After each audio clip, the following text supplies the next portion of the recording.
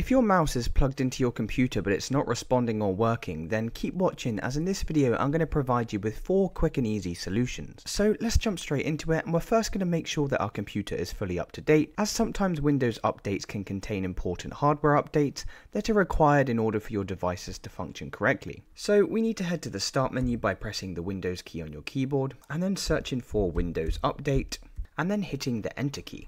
Now by using the tab and enter key we should be able to select this check for updates button. So if I just press tab two times and it comes over to check for updates and then I can press enter and then make sure to download and install any updates. We can then press alt in F4 to close this window and the next solution is to run the Microsoft hardware troubleshooter. You need to come back to the start menu by pressing the Windows key and then we're going to search for run and hit enter. Inside of here, you want to type in the text msdt.exe space hyphen id space device diagnostic and then hit enter.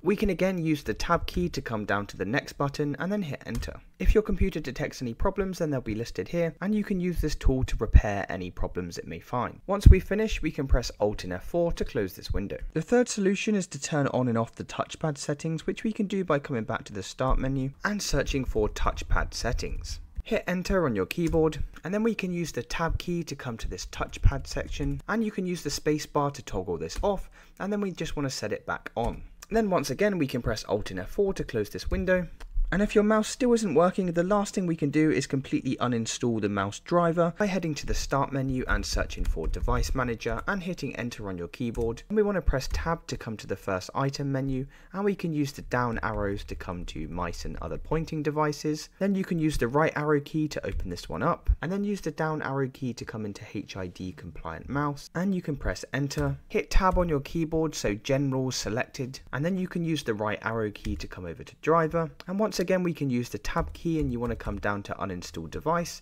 and then hit enter. What we can do now is restart our computer and that should have solved any problems that you're having with your mouse not working. If this video did help you, please drop a like and subscribe. Until next time.